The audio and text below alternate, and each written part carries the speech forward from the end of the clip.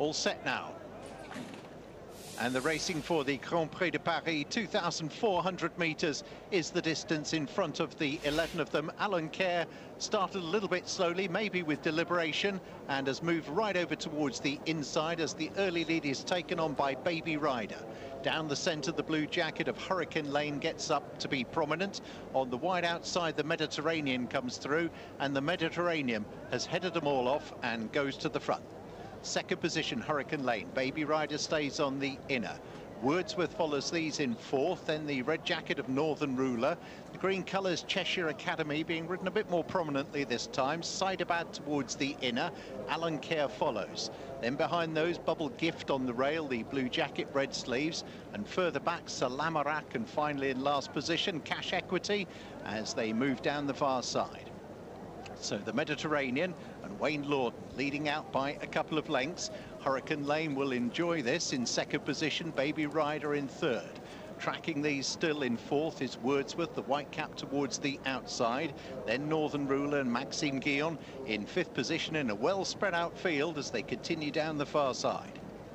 So beginning the right-handed swing back towards the false straight and the lead remains with the Mediterranean, still showing by two and a half.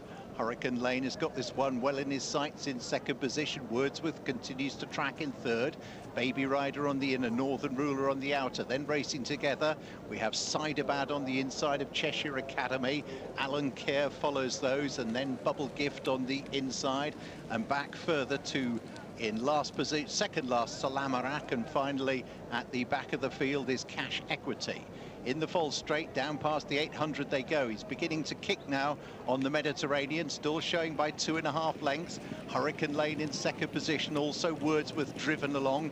Baby Rider and Northern Ruler are the next two. Cheshire Academy and Saidabad with work to do into the home straight. And the Mediterranean still has the lead. Now going to be taken on and here's Hurricane Lane Hurricane Lane now comes through and goes to the front and begins to quicken on. And it's Hurricane Lane goes a couple clear, has left the others behind. It's Hurricane Lane. Alenquer tries to get going down the outside, but it's a one-horse race. This is a really commanding performance. It's Hurricane Lane dashing to the line, 10 clear. In second position, just about Wordsworth. And third, probably Alenquer at the near side in front of the Mediterranean. Well, Hurricane Lane has absolutely slaughtered them. Number seven, Hurricane Lane, and William Buick has won the Grand Prix de Paris by a good 10 lengths. Goodness me, he is just getting better and better, isn't he? Hurricane Lane. How impressive was